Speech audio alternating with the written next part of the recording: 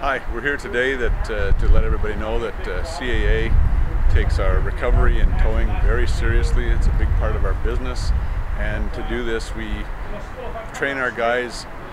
way over and above what's legally required by law, and that's what we're doing here today. We are training our guys with uh, a company called Wreckmaster Training, and it's a certification course which shows them how to do uh,